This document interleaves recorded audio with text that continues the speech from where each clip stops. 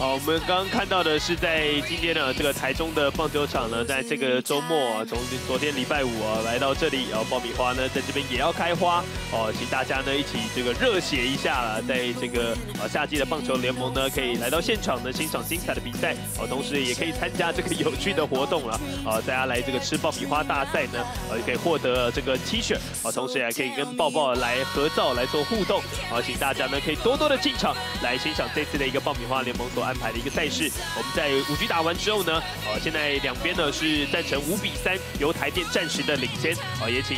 啊这场比赛的球评啊中龙仔钟教练呢来分析一下两支球队在前面的一个表现。应该好的哈，这场比赛的话，事实上两队在前五局啊，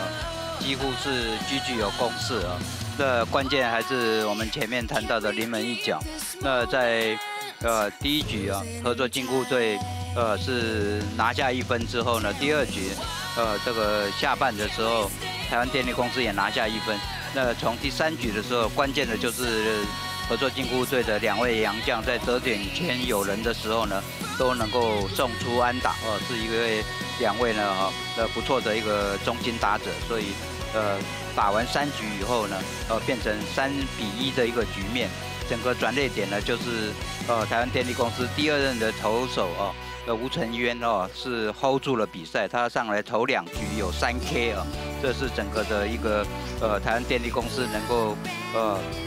逆转的一个转捩点哦，他踩住了刹车，才会有在第四局的时候呃 AD 的一个左耳的一个呃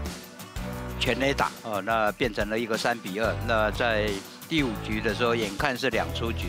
呃，结果林根伟跳出来啊，他也扮演的一个关键逆转的一个角色啊，他打出了一个清垒的二垒安打，当时是两出局，一二垒有人，他一棒把自己的队友呃全部送回来，那之后于中汉靠着内安打，结果这个时候彭世颖。呃，出现了爆头，又多掉了一分了，才会形成五比三的一个局面。那关键的还是在剩下的四局啊，要走的话，那其他的这些主要的中继投手扮演呃很关键的一个角色，尤其是领先的一方台湾电力公司，呃，投手的运用，呃，是不是得以呃会对最后的比赛产生很重要的一个结果？